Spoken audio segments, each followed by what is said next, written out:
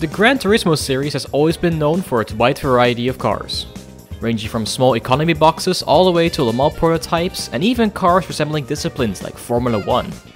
And out of all the games in the series, Gran Turismo 4 has always been my favorite one. With over 700 cars and a plethora of racing events to complete thanks to its wide range of racing circuits. Made even more impressive by the fact that the game is over 18 years old. Since I wanted to return to this game and do a playthrough on stream, I decided to do a challenge run, inspired by the increasing number of other content creators doing one as well. Here, I try to think of something simple, while not being too restrictive. This simple idea then manifested itself into what is essentially a greatly distilled version of the game. Road, car, only. As the name implies, I'm only able to enter events in cars that are road legal. Any race car, as well as any wacky concept cars, are not allowed. Although this challenge will therefore be quite easy for me in the early stages, it will quickly ramp up in difficulty once we get closer to our main goal, which is beating the Gran Turismo World Championship. This is where we have to battle all kinds of race cars, from GT1s to Group C Le Mans prototypes. Additionally, I also wanted to complete the All-American Championship and All-Japan Touring Car Championship, which put you up against American and Japanese race cars respectively. Aside from this, anything related to upgrades and license tests are obviously unlimited, as these would make the challenge impossible otherwise. So with this introduction behind us, let us begin our journey towards answering the question whether Gran Turismo 4 is beatable using only road legal cars. First up, instead of completing the license tests, I instead decided to immediately buy a car from the dealership to begin the playthrough with. To start off, I had bought a Mazda RX-7 FC. This car turned out to be an awesome choice as it had good performance from the get-go as well as having a great tuning potential. It's a good fight actually.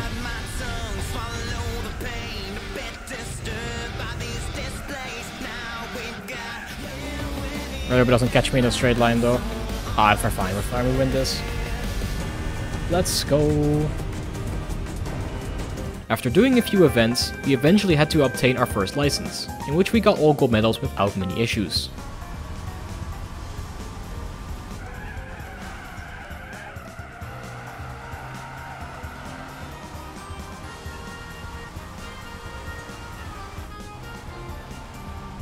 There we go. That was it.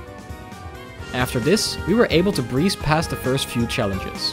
However, after a while, the car did fall off into performance, culminating at a close loss at the Turbo Sports event.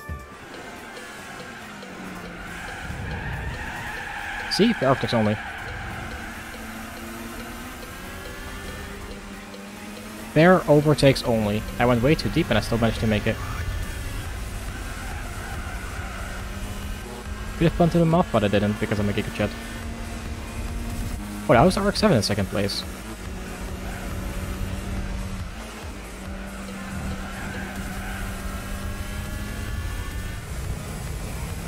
Oh my god, we can actually do this. Hold on. I got a break toe, I got a break toe.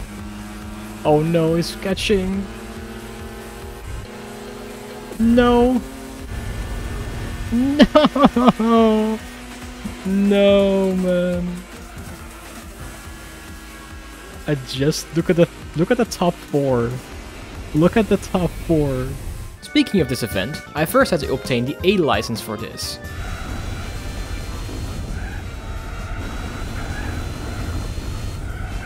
Send it.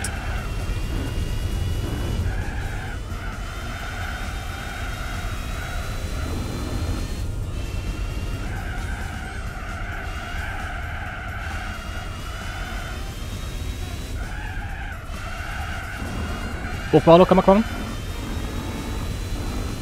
Easy. Easy. Four tenths clear. Getting silver or better on this license also provides you with the Gran Turismo Nissan Skyline GTR, a 500 horsepower monster of a Skyline which can make light work of pretty much every early game event. However, to keep things interesting, I decided not to use it.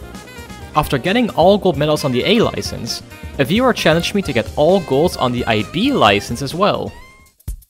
Do now 5 for 5 gifted. We want to do like, you want me to do cone slalom right now? Or the whole license. Or the whole IB license. Can't wanna do that. The whole IB. Fuck it then. I'll do it. I had accepted the challenge, and to my surprise, everything went very well. First one's already an annoying one. It's, uh... The trail breaking test.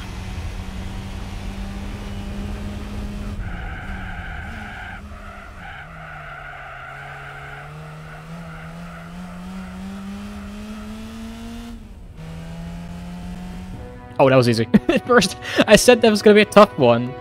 Well, I guess not. Including the difficult slalom challenges. It will just... You'll just spin out.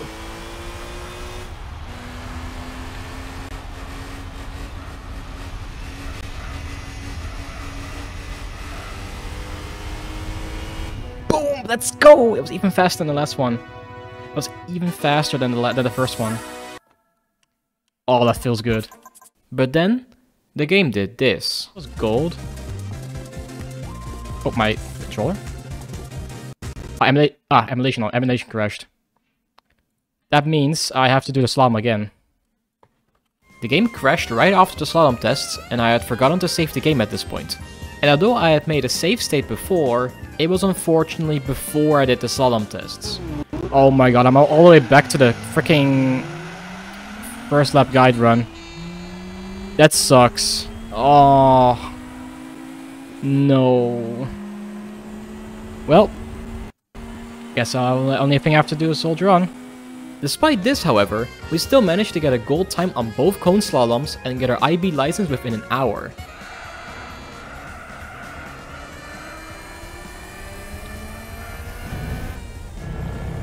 Come on. Again, yo. We did it. That is obviously not true. And thank you for the 5 gift subs. Give true to your word. After doing a couple of more tournaments, including the ones outside of the main ones like some specific Japanese ones, it was time for our first challenge, the Tuned Car Championship. This event puts you up against cars from various tuning brands, some of which being pretty much on the level as actual touring cars. However, with a lot of cash to spend and a well-tuned Nismo 400R which we got from the 90s challenge, we were able to easily breeze past them and win every single race, therefore completing our first real challenge of this run. After this, I thought it was time to do a little bit of rallying, which is what we did in this blue Subaru Impreza. This specific Impreza was recommended to me by a guide video on YouTube, which showed that this car was capable to even outrace Group B cars in rally events. Although I did not test this, it was still easily able to beat out some of the easier rally events, in particular the race at the Grand Canyon, which gave us a car I really wanted to try, the Ford RS200. This road-going version of the famous race car was quite a fast one, made even better by the fact that it was red, which of course adds an additional 50 horsepower. This immediately gave me an idea. What if we try completing the All-American Championship with it? Sure, there are faster cars out there that we can use for this, but using a track-modified version of a car that was normally intended as a rally car could prove to be quite interesting. And oh my, it sure did.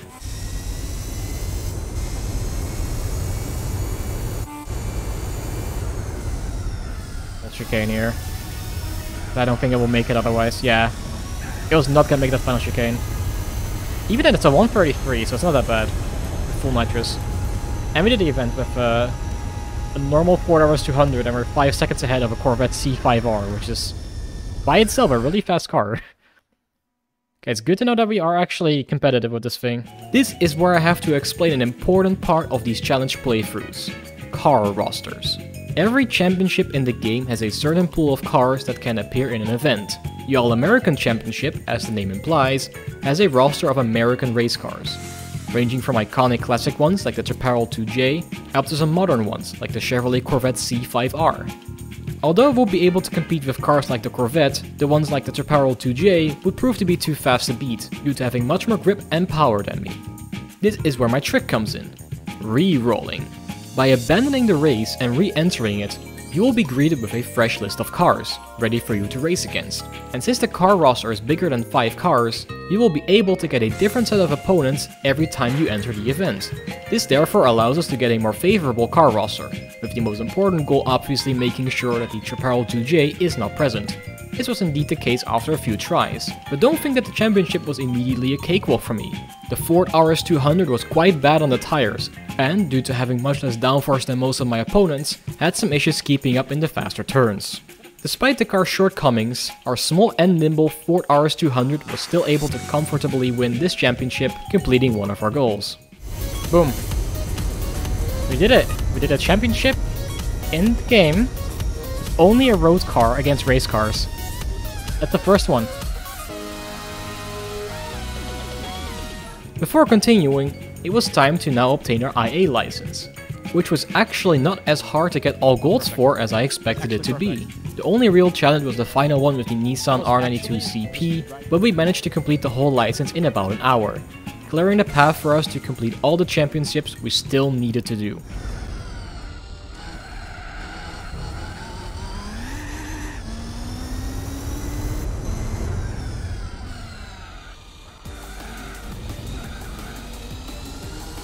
On.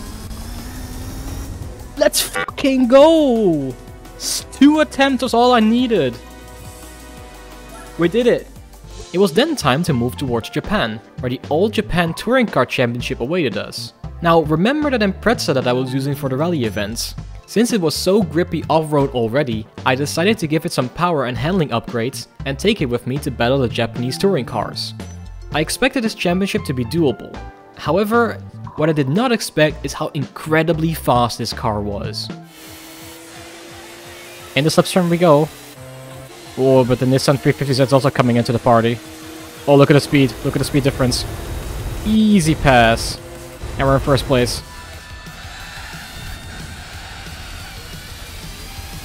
At 119. In fact, this car was so fast that it ended up applying a few downgrades, like removing the exhaust upgrade to make it more competitive. Alas, it was still incredibly fast, so we flew through this championship with no problems at all, completing another part of the challenge run. We did it. All races with the Subaru.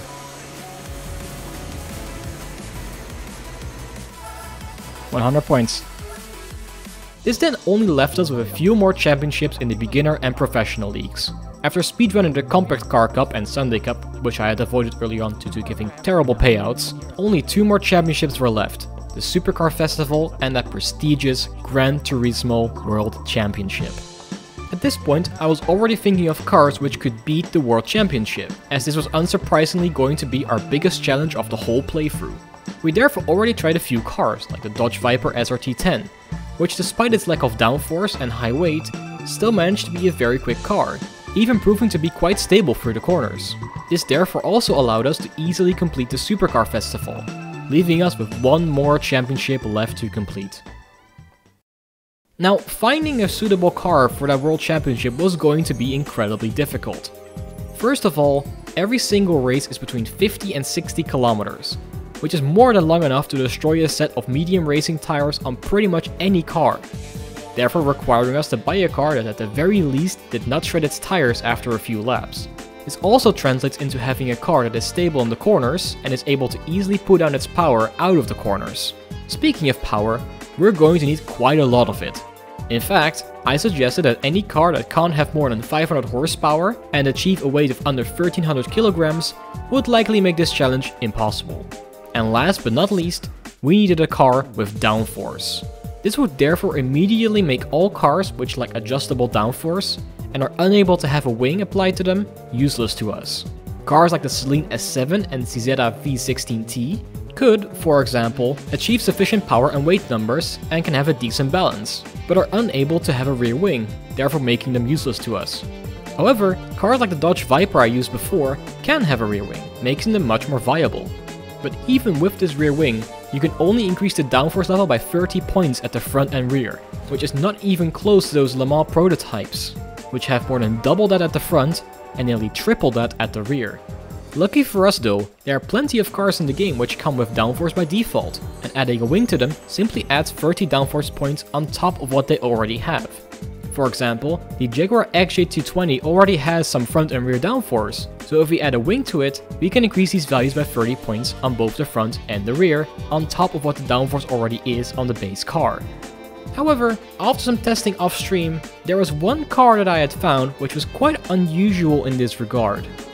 Enter the Nissan R390 GT1 road car, a road legal version of the iconic R390 GT1, which raced at Le Mans in the late 1990s. This car actually met our requirements for both power and weight, putting out over 800 horsepower while weighing under 1100 kilograms when maxed out. However, this car also accepts a wing upgrade, which is all completely fine until I realized how high the downforce would go. Yes, you see this correctly, 70 front and 85 rear downforce. Apparently, the road going version is so close to the race car that it already produces a high amount of downforce when stock. And since the wing always adds 30 downforce on the front and the rear, I was able to increase the downforce levels to what I had just shown, effectively turning it into exactly what you would expect, a road legal Le Mans prototype. I then entered the Gran Turismo World Championship brimming with confidence, made even better by the fact that we immediately had a decent car roster. Although I did some testing previously and found out that you can get some very favorable car rosters in this championship, the one we had here looked challenging but beatable, with all but one car being a Le Mans prototype throughout the years. A Jaguar XJR9, Bentley Speed 8, Peugeot 905 and for that time modern Pescarolo LMP1 car. Ironically, the last car in the field was the race car variant of the one I had, which actually turned out to be by far the slowest car on the grid, to the point where I was even able to lap it in a few races. However, not everything was sunshine and rainbows in this championship, something which I would have to find out the hard way.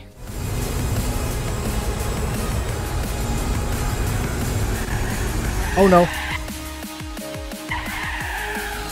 Yeah, wait, we held it, we held it, we held it, we're gonna still drive. It's alright, it's alright. Nothing happened. Which he already does, so I'm gonna just pass him here instead. There we go. A little bit of an aggressive pass, but we'll do it anyway. I'll just go for it. Once you see the uh, once you see the chance, I'm just gonna I'll just I'm just gonna take it. it oh no, don't spin again. No I'm an idiot. Oh no. I messed up. Uh, unfortunate finish there. Uh, we could have done so much better there. And also I noticed that the Peugeot was much faster in, in the... Um, um, because of the tire management. Although I did a few laps of practice early on, what I did not expect is that this car is a complete death trap.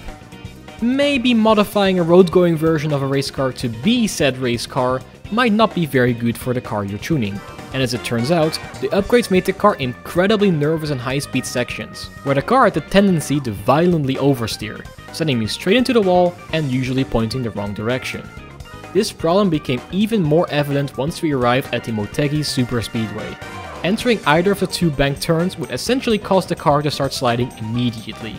And we had tried many different solutions, even going as far as trying to find some good car tunes by other people. But unfortunately, nothing seemed to solve that issue, that was until I realized something. Maybe it's, maybe it's the front tires. I've just maybe just put like a huge ballast on the front tires, like 60, 70 kilos. Maybe it's the front tires that are the problem. Maybe the car just has like no front grip. Although, hold on a second. I think I may have found a solution. I think the ballast was a solution. Look at this. No, no spins. When I break, it's still spinning because I have no stability, but... It was the front tires after all the issue, not the rear tires. Wow. Simply put, ballast just puts an additional amount of weight into your car, which you can place anywhere to shift the weight balance. As it turned out, this car's massive rear weight bias made it incredibly spin happy, so I decided to place a hefty 60 kg ballast at the front of the car, and to my surprise, this seemed to massively reduce the issue, keeping the slides much more manageable and significantly improving overall stability. Despite my happiness and the car now being much better though, it still did not allow me to win the Super Speedway race as the car was still unable to carry enough speed through the bank turns.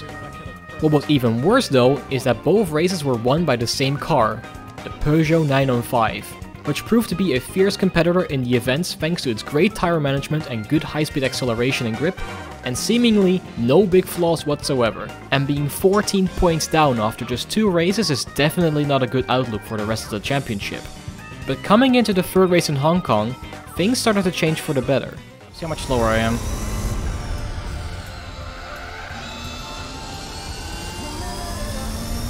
Oh, still faster actually. What?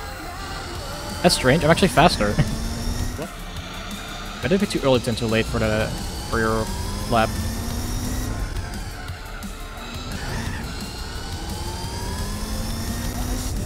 Or two, I mean, probably because we're like the first one to set a lap, but I'll make use of it as much as I can. First off, I have managed to put my car onto pole position, with a lead of almost 5 seconds. I had then managed to absolutely destroy the opponents in this race, finishing way more than 10 seconds ahead of second place. Oh, I was kind of floaty. There you have it. GG! Race number 3 is actually a victory. Even better was the fact that the Peugeot had a poor race, finishing in 5th position, allowing me to gain a lot more points on it than I had anticipated. Then it was time to go to another city track, Seoul Central. This was actually even easier than the race in Hong Kong, with the long straights and sharp turns allowing me to gain a massive lead over the other drivers. Additionally, the Peugeot 905 had a rather questionable strategy, oh, pitting in right before the final lap, therefore being down into 5th position. This immediately therefore brought us back into the championship, pretty much tied on points with the Peugeot 905. Bad first two races, but now we're having a back-to-back -back race victories. Let's go!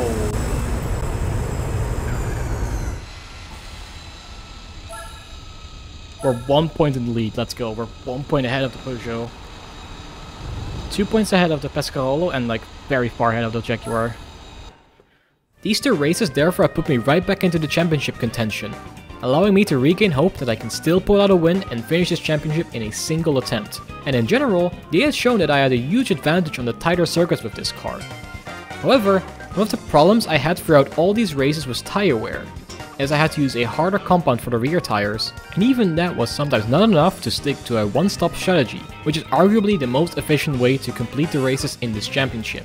And this truth would almost smack me in the face once we arrived at the 5th race in El Capitan. A fast-paced but also a very bumpy and undulating track, therefore being able to easily shred your tires in a few laps. Qualifying went as expected, giving me an easy pole position by trying on some softer tires.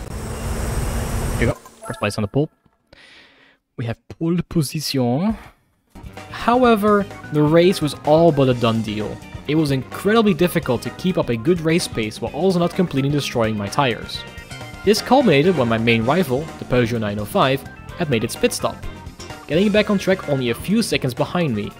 However, the Peugeot had fresh tires, while mine were almost completely gone. This then led to what I can only describe as the two most difficult laps I have ever driven in this game so far. Uh, somehow I need to get this guy behind, behind for two more laps or the tires are dying very quickly. So if he is four seconds ahead behind at the start finish line, we're good. We're good. And we're golden.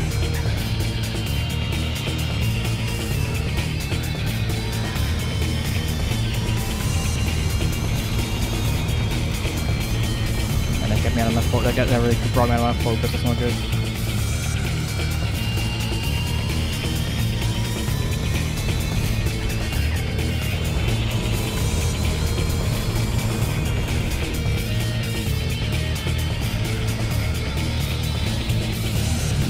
We're actually gaining even more time, but I feel like the rear tire is gonna step away now.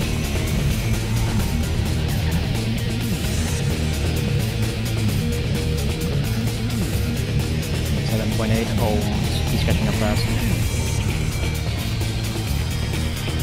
Oh, it's racing right now, just like the car is. Yeah, we're driving on ice for real now.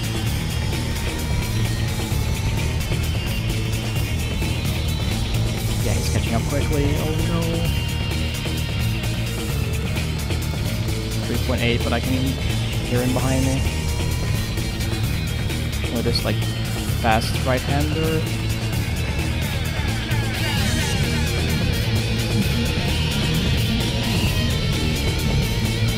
Come on, just just only this left turn and then a fast right-hander and I'm fine.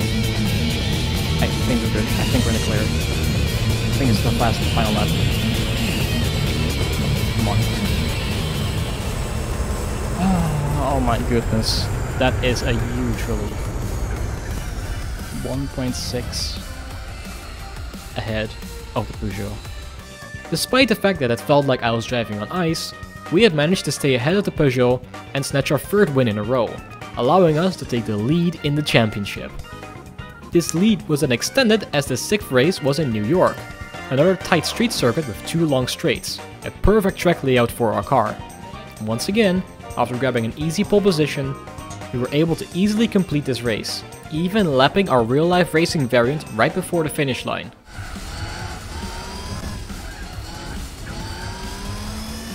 Oh, we're actually gonna lap it. Come on, come on, come on. At the final lap, we're gonna lap our own car. Yeah, there we go. we actually lapped him at the end. Oh, that's so that's such a flex. We left the race car version of our own car. Look at this. Our now once again full of confidence, we headed towards Paris, where the final street circuit of the championship awaited us. But unlike the previous ones, this one was not only significantly more bumpy, it also featured a lot more low speed sections, something which proved to be very difficult for us to negotiate through. Since the upgraded turbo also brought a lot of turbo lag with it, the car was either not accelerating enough out of these very slow turns, or would have a lot of wheel spin, both of which are obviously not favorable to us. And despite setting up the gears in such a way that this can be prevented as much as possible, we were still struggling a lot throughout this race, which also turned out to be another tire shredding event like El Capitan are. It's pit stop time anyway. Look, look at this, the car is not getting anywhere. It's driving on ice. Refueling, same tires, go. Yeah, tires are gone. Tires, now, now it's actually blowing my tires are gone. This tire shredding would also be shared by the opponents, as the Jaguar XJR9, which had already fallen off the championship due to its bad tire management, had to stop twice during the race, being one of the only cars to do so in the entire championship. Oh, oh! Wait a second. Hold up a second. Y Jaguar spinning again. This has immediately turned into a race winning situation. We need to keep it in lead for two laps. Oh my goodness, I didn't expect Since we did a one-stopper, and the last lap before our pit stop already proving to be a nightmare, we once again had to keep the Peugeot 905 behind for two more laps. We're gonna have to like, just keep it in like third gear permanently, I think. Look at that acceleration out of the corner, even the truck goes faster. We're driving a truck now instead of a car.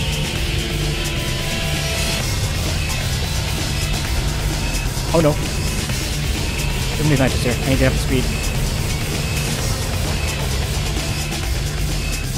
You back super early for the turn, I'll spin.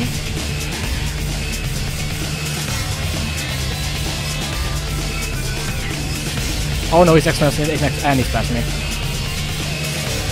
Yeah, that was a, uh, that was not my, my mistake. Yeah, we're gonna be second. We have to concede the win here. I went into wide into that corner, and then I gave him room. And I immediately took it. Unfortunately, with that mistake, we had no option than to let the 905 through, as it flew out of sight with its much better tires. Despite the loss, however, we still managed to grab second place, which is far better than I had expected considering how tough this track was to drive on. Although we had to concede first place to our main rival, we were still 8 points ahead. This meant that, in order to give ourselves a guaranteed championship win, we had to finish ahead of the 905 in at least one of the next three races and with the next race being in Suzuka, this certainly started to look like our championship to win. Look at the exit speed that we have compared to these guys. Stick up the inside and at the, at the SS and we just go for it. The race at Suzuka turned out to be quite a decent one, especially when the Peugeot and Pescarolo LMP1 cars decided to inherit the strategy book of the Scuderia Ferrari team and pit right before the final lap. Unless it makes a huge mistake somewhere. Oh, it's pitting, it's pitting. We're fine, we're fine, we're fine. Don't spin the car. Now don't spin the car. Please don't spin the car, Bas. Don't spin the car, Bas. Don't spin the car. I'm gonna I'm gonna knock it on the knock on the table. not jinxing myself. Do not spin the car. Don't spin in this corner. I'm gonna, make, I'm gonna do really slow. I'm gonna do really safe for this. Look at that. No, only did 250. I did 200 there. That's Carolo behind us. That's it. I think it's the last lap. Maybe we can do one more lap. Do one more lap easy on these tires. Boom! Let's go! That was an easy victory. Because of the last lap pit, that they, pit stop that they had to make. And the Peugeot is actually in third place, which is perfect for us. Look at the scores. 14 point difference. The, all we need to do to not mess up this championship is not become last twice in a row, which is physically impossible. We have hmm. pretty much already won this tournament here. We are in the clear, essentially. Additionally, in this race, I did what is probably one of my best overtaking maneuvers I've ever done in this game. It's the first time I've ever seen a speed at first place in, ever, in any of these races in the tournament. Oh, look at extra speed, look at extra speed. Round the outside! Oh, that was disgusting. No, don't bump me out of the race, please. Don't bump me up. It was so disgusting that the AI almost, almost killed me there. Oh, that felt so good. I was like on the edge of the, I was like on the edge of grip there on the outside. The penultimate race was at another great track, Grand Valley Speedway. If we wanted to secure the championship here already, all we needed to do was to finish at worst one place behind the 905. And just like the previous race, we looked to be unstoppable. Boost for the end. Boom, first place. Alright, let's go. I'm ready. Hold the exit speed, look at the exit speed, there we go. Easy pass.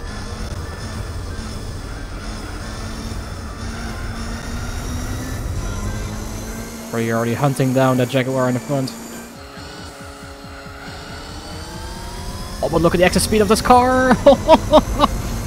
Disgusting launch speed out of that corner right there. It's like it's warping. It's like has no chance. Despite some mistakes during the race, we had managed to keep it ahead of the XJR9.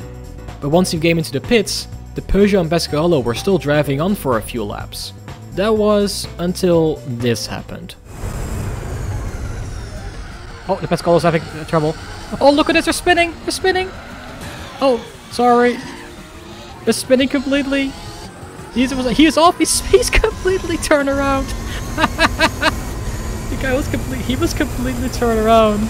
Because I bumped that thing off the track. I mean, we know for sure we're going to be winning now. Okay, that, that's it.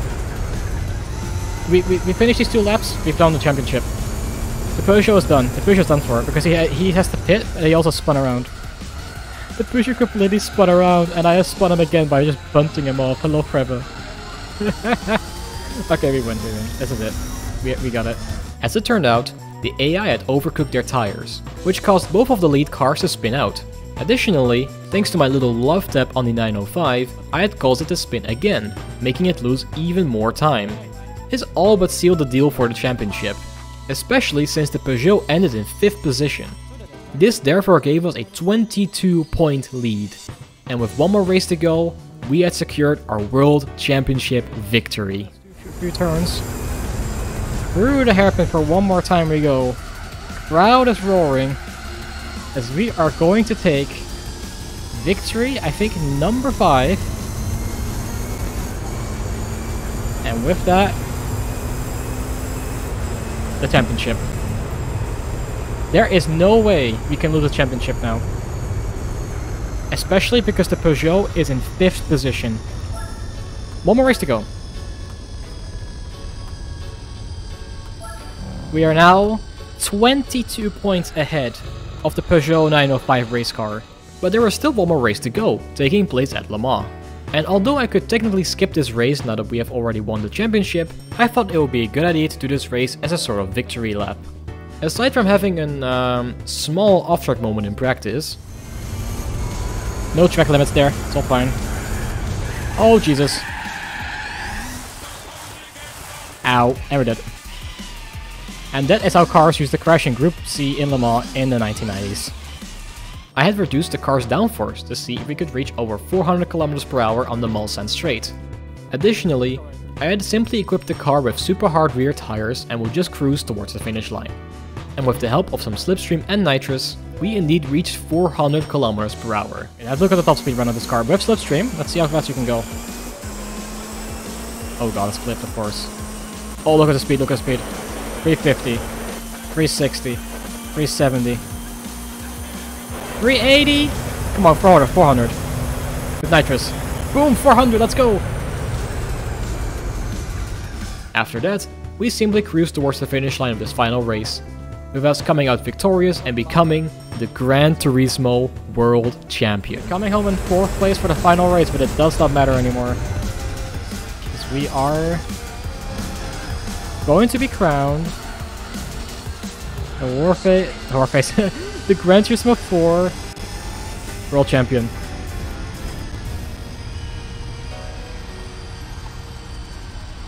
It's over.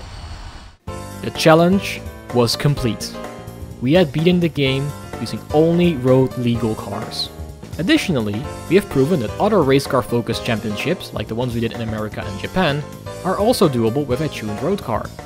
Although we could have continued from this point and done some of the extreme events like the All-Star and Dream Car Championships, I will instead think of a new challenge run, as this one has been the most interesting and fun playthrough I have ever done in this game so far.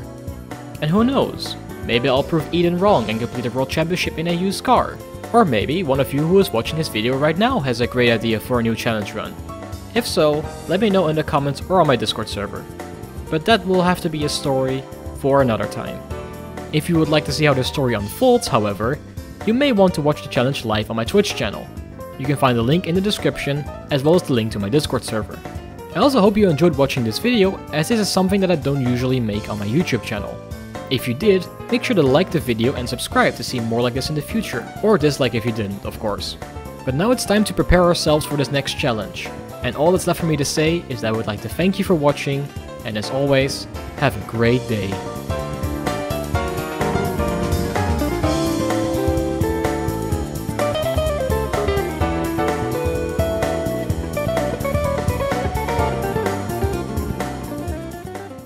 Bit too wide there. Dorifto!